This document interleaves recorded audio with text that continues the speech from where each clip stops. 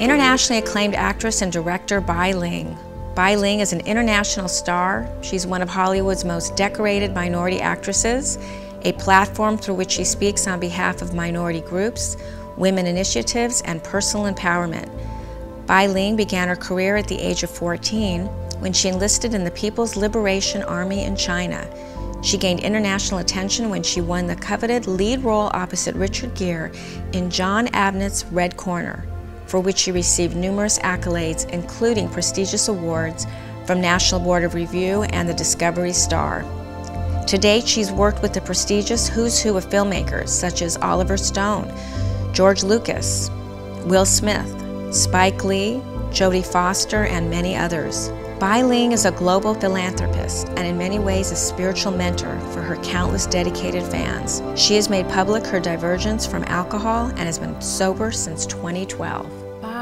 What's it like? You're sober now. What is life like being sober? I feel like I'm free and flying in the air like suddenly um, for a while. I can be who I am. I can be brave enough mm -hmm. just to, with my um, naked eyes, and naked body, naked soul to feel the world, feel the real life. That's a gift. I think a lot of people are afraid of that feeling of danger or darkness or something unknown. But I'm challenged that, so I let myself be vulnerable. You know, I wonder to myself, you're young, and I, you probably got sober really young. It's been like four or five years, I think you have. What's, what was it like getting sober so young? Well, I think, you know, talking about years and time, to me, it's like everything before yesterday, I erase them. Everything tomorrow, I don't know. I live like newborn child. It's like always fresh, curious, and clean and simple. Simple life now I have. After sober, you're asking I feel I'm like reborn again. Mm -hmm. I feel like really life's reopened to me, the world I've never seen before. Because everybody has their darkness of fear. So I'm challenging my fear. I feel like so excited. So it's really, really challenging and really, really, it's a new excitement of life come to me that I really appreciate. I so feel that energy, and I would love to know how you can translate that energy to the young people today. You know, we have this epidemic of heroin overdoses. Right. It's it's it's national, it's international, and I'm wondering, what else are you doing in the recovery community to spread this message of, of hope? I think the key word is you have to find the meaning of why you're here. You have to love yourself. I think love yourself is most important. Love yourself, appreciate who you are, appreciate what you have, appreciate. You know, a lot of people say like obstacles, they're afraid of obstacles. I think there's no difficulty obstacle you cannot conquer. Any obstacles showed up in your road on your life, it's because you have the ability, a strength to overcome. So if you embrace that, that means, oh, just fun, these obstacles I can overcome because it just tests me. It's all testing. So inspired. So why do you think these kids are feeling so broken? What do you think is going on in the world today? I think also, you know, like we're in the entertainment business, like Hollywood, mm -hmm. a lot of mm-hmm. pressure, a lot of fame, money, and success. I think success drive people to the cliff. Because I think the real success is the process. Like the Oscar coming, right? Oscar week. Everybody uh -huh. will think who's gonna win, all of that it's irre irrelevant. To me it's irrelevant. It's a celebration of the hard work. Mm -hmm. but people so much caught up on the who's winning this winning that. But this is just human beings set up the trophy to celebrate life. But people use it as your goal. If you that thing become your goal you're going to get lost because you cannot get that. That just is, it's a light when you're driving a boat. There's a uh-huh. light just ask you to go this direction. It's not necessarily when you hit there you're somebody. It's the process it's the journey I think you have to know what you want, and there's so many meaning of life. Uh -huh. What is actually success to you? Like for me, it's like I feel like I'm very lucky. Even today, I'm here. I feel there's a lot of wisdom here. I even ask my personal questions. Uh -huh. I think there's a beauty, there's a enlightenment, there's a success. Like I, I have a little answer from you. I feel like wow. I'm successful today. So you're uh, intuitive, you have mm -hmm. all this wisdom, you have all this insight for such a young person. Where did you get this from? Did you have a mentor? Was, was there somebody out there that taught you some of these things, or is this coming from deep, deep, deep down in your soul? Good question. I think a lot of people ask me who's my idol or who I admire. Probably my answer is gonna surprise you. It's my grandmother. Your ancestors, which uh, my grandmother. Uh -huh. But she like. Um, I feel like your parents like always uh, want you to be the thing or the person, the job they never done. They want their children to do. Mm-hmm. But grandparents just indulging you. If you want to go to school, don't go. Like my grandparents totally indulging me. Therefore, I have this free spirit. And also my I remember in the Chinese New Year. Now it's Chinese New Year just over. Uh-huh. Like we're all play mahjong and eating all that, right? Everybody going to sleep late. Yeah. But in the middle of the night, go get up a pee. Then I saw the doors open. I said, who's that? My grandmother come back with the scarf on her face all red. She said, shh. She went out clean all the snows on the footstep, everybody's doorstep. And she did not say, I did. She said, don't tell anybody. And I was curious in my mind. I went out. I said, wow. You know, these behaviors stay with me forever. It's like generous giving without asking reward. It's giving, a spirit of giving, appreciation. Did she believe in your dream to be an actress and a film star? It's funny like you're you're our our how to say connected tuned you're asking uh, question yes. because you're just like in my journey so when I was in China, it was like so hot summer, right? We're lying outside in the pavement, just like because it's so hot, we don't have air conditioning. Mm-hmm. We're just lying on the sheet, looking at the stars. I see so many stars. We're like counting the stars. I say, grandmother, I see the stars so bright. I want to be the star. My oh. grandmother, you are the star. I say, really, which one? She says, the brightest one. So just that alone, I believed in the little young mind of girl. Huge said, impact. Right? I said, wow, I'm the star. I'm the brightest star. And when you're a child, you don't doubt. You just trust. From there, like a lot of people ask me, I'm taking a little bit farther, how you find your dream. That's why I think like in China, all over the world, even for a lot of your people trying to recover, mm-hmm. it's like you have to believe. Like I come here, I don't know English, I don't know anybody. How can I become movie star in Hollywood? It's just it's not gonna happen. But for me, I'm so innocent. I feel like uh, I describe like a picture. It's a, it's a little innocent, vulnerable girl walking in the dark night, darkness with barefoot. She's just walking. She's trusting. Then suddenly there's a moon appear, just guide her. That's my journey. We are so connected because my next yeah. question, we're kind of following each other's lead. It's really fascinating. Is when did the darkness occur? You know, I know you from Celebrity Rehab, and I, I wonder when when did when did it switch up? When did it change and become, you know, maybe tell a little bit about that journey.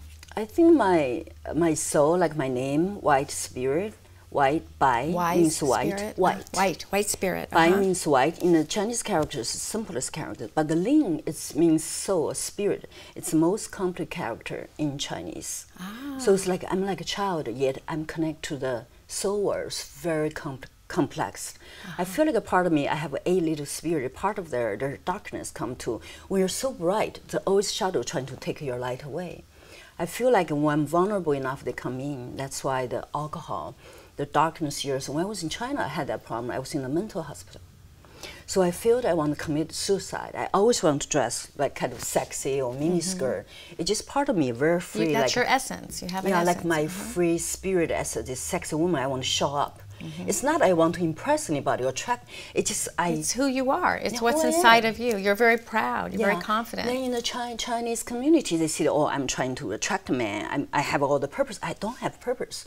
So I feel like you're I, just being can, you. Yes, but they said I don't understand. So I feel like what can I do? I feel like they don't understand me, but I don't know how to explain it. So I feel like uh, there's um, part partially like dark side of me. I don't know how to live. I feel like I should not belong here. I should not I should not live. So I had that struggle. I was in a mental hospital. Mm-hmm. I feel like I was very comfortable there because in the mental hospital I actually become free.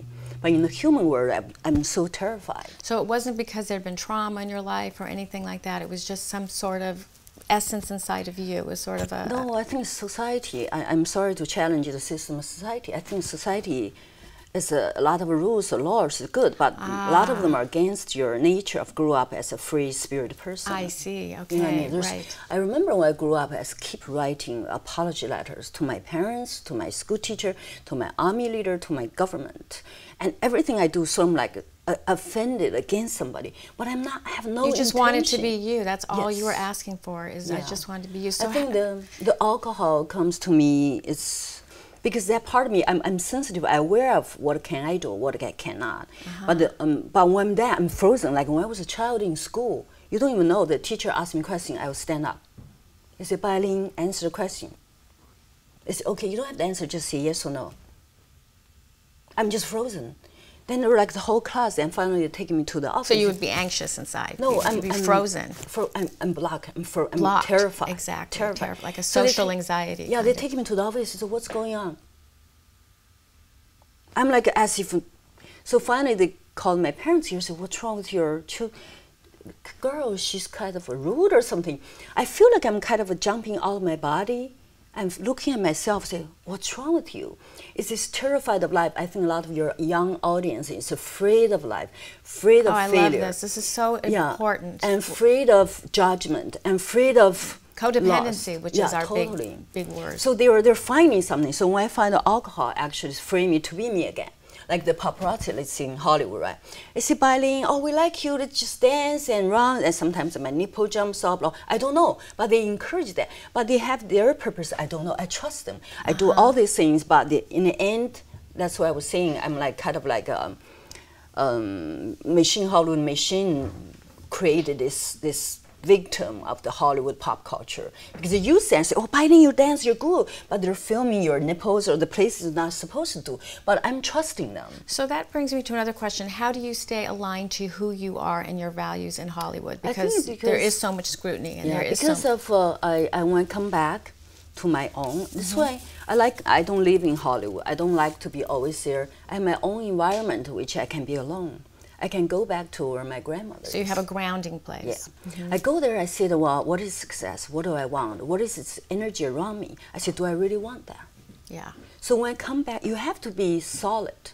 You know, to be brave, to be alone. That's very important because people always running around with people. They're so free to be by themselves. Yeah. But when you're scared to be with who you are, then you can never find you. Exactly. That's well. That's love what drugs and alcohol is. It's running from yourself. It's Yes. wanting to get out of your body. So what I'm hearing you say is you've learned how to be in your body and be really comfortable, and not And to be, show and that not be in that beautiful you, disease. yeah. Yes, exactly. to show there's a brilliance in you. You have to be brave to challenge. When you're really, as long as you don't harm anything, you have like we're all different. We all have our brilliance. We all have strengths. So, what was that moment of clarity where you decided, you know, I'm done. I'm going to, I'm going to get sober. That's it. I'm done. I think the point is I, I feel because I, I love sauna room, jacuzzi. I was always in the sauna room. Before the sauna room, I always drink.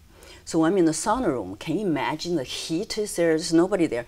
I'm like literally, I knew if I close my eyes, for instance, I'll die there. Because the heat there when you're drunk. How long you can, right? Exactly. I feel You- like again, it sounds like you had that intuition yeah, one day I said, I'm going to die here if I don't do something. wow. So that's it's the death threatening me, and I feel like if I don't do something, so until I come to the cliff, either I'll fall or I have to go back.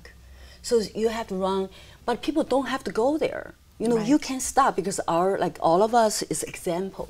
You don't have to go that far, but you need to gain that strength to trust you. You're magic. You're a star. I believe everybody's star in this world. You just have to go. Doesn't matter. You're chef, you're shoe shine, whatever you do. Mm-hmm. You're making coffee like Starbucks, like everything.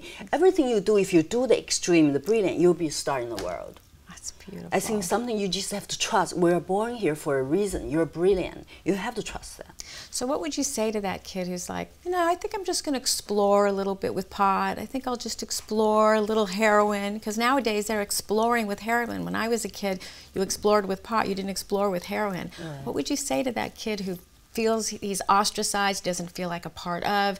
He's highly sensitive. As we know, addicts and alcoholics are very mm. sensitive inside their hearts. What would you say to that lonely person that wants to fit in? I feel like if you want to try something, then you're afraid of something, and you already know that's bad, you should stop because that's a test. Use it as a test. If you're strong enough, like you play video game, that's a test. You cannot go there. You go there for sure, you're gonna die because mm-hmm. that's just death. Use that as a test. If you can resist it, if you can, that means you you gain another power in you. You gain more confidence and trust. Use it as That's where you get your self-esteem from. Yeah, because it's, it's like you're eating something bad. Why you have to go there? You know, you know it's bad. You don't have to. You just have to believe that. Just test on the edge. You say, "Oh, I'm strong. I don't have to go there." Right. You can show all your friends, I, w- I was there, but I didn't fall." I think you use every obstacle as a test to see how strong you are to challenge you. Oh, it's wonderful. You know, we also speak a lot to the parents, the families. Sometimes we're so, uh, you know, interested in the addict, alcoholic, we forget about the families that suffer too. So, what might you say to a family member whose child the- is struggling? Yeah, I think the family, the, the, the problem with the parents, they're always so rule, a lot of rules and stick and very harsh to their children. Don't do this, don't that. But we're like a rebel as a child. You say, I don't, I'm gonna do this. I do that too. But it's better to say, well, I'm telling you that's darkness and that's not good. But if you want to try it, your own responsibility. But what about the parent who Give keeps them the trying? power. But what about they keep trying? They keep putting their child in rehab. They keep supporting them. Nothing's happening. Nothing's happening. How do you help somebody kind of let go with it- love? I think they, they help. You have to have like, for example, tell them, have face to face sober, tell them what's the danger. Just write it down. What is exactly? Then it's, it's your life. You're on your own. If you don't help yourself, go for it. Half of the time, like people are afraid to challenge. So people are gonna die. You how, how can you leave them? But if you give them a heavy enough, like I'm holding What you're you. saying is you're trusting them. Yeah, You're if I hold you all the time, mm-hmm. you say you're gonna you say you're gonna jump the cliff. I say no, no, don't jump, don't jump. You say you're gonna jump because you know you're safe. If I said okay, look at me, I'm gonna I'm gonna let, let it you go. go. If you want to jump to your own life, you want to go. But I'm telling you, I'm for sure gonna left you. Okay, but I'm telling you, you're gonna die. Your life so much worth than that. Mm-hmm. Goodbye, child. You release it. It's basically detaching You release it, not love. not there. You turn around. I guarantee the child will not jump. Mm-hmm. But nobody can go that far because you're so. It's our fear, and the children's play with us. The darkness play Well, they, with they, us. right, they're manipulating right? the But situation. if you let it go, you see the children gonna kneeling down, cry for your mom, come back. I want you. I'm sure that's helping a parent out Yeah, there with this totally. interview. Because we're so we're so think like even like I've noticed American culture. We go to India and go to China. You get all the shot. You eat. You take medicine. All of. It's not necessary. We're all human. You're not gonna die. It's too much of uh, fear. Too much trusting these things are not necessarily safe. Well, would you say fear and codependency are the two things that are underneath addiction? I've always felt that Yeah, those yeah, are the yeah. two things that underlie addiction: is fear and codependency, worrying Right. about what people think, and fear. Yeah, I think you have to know your self worth. You have to let them be independent, take the chance. You have mm-hmm. ultimately, no matter what you do, the children grow up who they are. They have to take their journey. If they fall, they know how to go back. Sometimes they have to fall enough. They feel they're gonna die. They come back. You can't stop them. It's their own journey. Right. You just have to say, "I am here if you need help." Well, uh, or, you're they, or they own. have their own higher power, which brings me to another question. What has kept you sober? Do you have a program? Do you go to meetings? Do you have a higher power? What is it that's worked for you? Um, the work for me is because I'm so busy. I'm trapped. I went to a couple of meetings of AA, which is really uh-huh, helpful. Uh-huh. And I suggest people are awake enough, you should go. I mean, going to a meeting and identifying, hi, my, my name is such and such, I'm an alcoholic. I do. I go back and forth mm-hmm. because basically you're stigmatizing yourself. Right. But for some, they need to. They need to be reminded. They need to be reminded where they were. They need to be reminded about when they were in that sauna and they were ready to die. Yeah. That's that's But. I think it's really there's a purpose. Uh, uh, let's take a little bit further or deeper. We're dealing with the sickness, whatever is in, in the very current, but but let's think Spiritual sickness. Yeah, let's think about we're both alcoholic, right? We're here, the doctors here, whatever tell us we cannot do. But what about somebody tell us, Bai Ling, there's a mission for you, only you can do. You're brilliant filmmaker, you have to do. Like you're brilliant coach, psychiatrist, you have to help so many people. Put us in that standard, and this little alcohol thing become minor. We want to achieve that. so finding how? their area of brilliance. Exactly. Finding your goal. So how can we achieve that? If you, you keep drinking, of course you cannot achieve it. Bai Ling, wake up. This is your goal. You're brilliant. You have to go there. For example, you're a leader of the country. You're a leader of the world. So what is You're is a your so what is your area of brilliance? What's next for you? I, I I am actually, um, I already achieved so much as a foreigner here, and, and a lot of roles I'm playing. I'm not Asian because I play, I'm Asian. But I know I also learned because I'm not satisfied of what I do because I'm a brilliant actress. I'm not saying as Bai Ling, I'm saying I have the gift. I'm brilliant. I never learned. I just can do any role easily. so it was natural. Wasn't it? you It's took natural. special classes. I have whatever? a huge uh, movie opening in China next month, Ah. which I play. It's called Lord of Shanghai. It's equivalent like a Godfather in U.S. Oh. I play a lady who's a nightlife queen in Shanghai. I play her from 28 years old till 80 years old. Oh, how 80. interesting. The transition. How can I do somebody so old? But I move the people even on set to cry. I said, how? That's my brilliance. Right now I'm writing a script. I want to do my own movie, and this movie gonna blow your mind because ah. people know by I love good I love right? the foreign movies. I never I never have a problem with subtitles. I absolutely love the foreign movies. They yeah. have a lot of different colors. Lot, so I want to do something because people know I'm good actress. I want to do some people will be like, wow, Blown away. Wow, that's something I'm creating. I'm very excited. See the obstacle because I'm not satisfied and encourage me to go higher. Instead, I'm like, okay, I'm gonna drink. I'm gonna go back. to I'm gonna die. No, why? Why there's obstacle? What else? That means if there's obstacle, that means biting. There's other So you're always testing more. your limits to the next level, is what I'm, I'm not testing. Life testing us. Life, uh-huh. and you embrace it as a joy. Like I'm excited about it. I'm not afraid because it's, you have to always have a child mind, innocence, the curiosity. Because if that you keep going for like people ask me how old I am. You ask me I'm 26 years old. Actually, I'm a one year old. Every day is a birthday. I mm-hmm. wake up, I open the curtain, I say, wow, it's gonna sunny or rainy. I'm so happy. Like I don't. I'm sorry. I'm actually I don't own a television because I don't want to be manipulated with anything, but I like to live my real life. And also, my mind is so pure. If I see some like a fake performance, I'm gonna stay there. I, I just want my world to be so You're such simple, a pure, soul, by. I mean, I just feel it in every cell of my my You being. too. You are just a beautiful soul. What What's one final tip? Something you could say to that struggling person out there that's watching this, because you are so inspirational, and I know. I still have to say love, love, love more of yourself. Mm-hmm. Appreciate more and more of what you have. Like a lot of people like struggling. Like you see a lot of Africa, a lot of people or people have child. I support Mm-hmm. a lot of uh, children's charity. People have AIDS, like very young. I think think of those people are they're dying of natural life. You have everything. I give you a little example. I come to U.S. I live in New York, right? That was like Thanksgiving. Uh-huh. We landed to New York, and smoke come out of the of the ground. I said, "Wow, there's another world." So I walking by. I don't have money. I don't know language. The homeless on the ground ask me for money. I look at him. I say, "Wow, you have English. You have American passport." I got nothing. You ask me for money? That's if very- I have what you have, I will conquer the world. See, you don't even know what you have. You take it for granted. Like Americans, you're safe. You have everything. Right. But from different point of view, like even the homeless, I'm envious of what he has. He doesn't know what gold he has. He asks me. I like all that these children, huge like the children, like the suffering people. You have family. You have people, community to support you. Right. You don't stand up on your own. You're shameful. I have to say, you have to, it's not appreciated enough. You have to appreciate our people trying so hard, like our program to help you. Well, I always say to somebody that has reached that bottom. Let's say someone has become homeless because of drugs or alcohol. I always say you are so much greater than the circumstances you're in. You don't Y- even you know are it. brilliant. You're a star. You have to treasure that. When you take that step as a star, you feel your life is flying. You have so much joy. Then you can help so many people. Yes. Like I believe we're all here. Today, I you know I drive like hours to come here. I Uh-huh. think it's worthwhile because I, I think that in my little way, if I can give help, I encourage help a lot of people that are on the edge of dying. So if I can do it, I'm a foreigner. I don't have nothing. If I can achieve it, you can too. Well, this You're is much this more is stronger. karma at its at its best. I want to thank you so much for joining us today at Recovery Today and being a part of this. I think you're going to be inspiring a lot of young people out there, Thank all you. people. And Thank you. also, the final thing I want to say, because I learned English one word by Mm-hmm. another, there's two words can basically solve any problem in your life, in your work, in your personal problem.